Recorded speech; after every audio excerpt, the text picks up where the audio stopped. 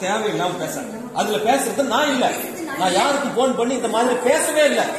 இல்லை ஆ, இந்த மாதிரி எப்ப பேச ஆனா முன்னாடி முன்னாடி அது நீங்களே இவ்வளவு சேர்ந்துக்கிட்டு போன்லயே ஒரு ஆடியோ ரெக்கார்டிங் பண்ணி என்ன கட்ட கட்ட கட்டுறீங்களா?